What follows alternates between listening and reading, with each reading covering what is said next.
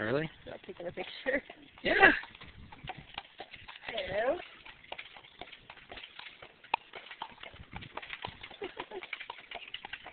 Not every day you see that going through your neighborhood.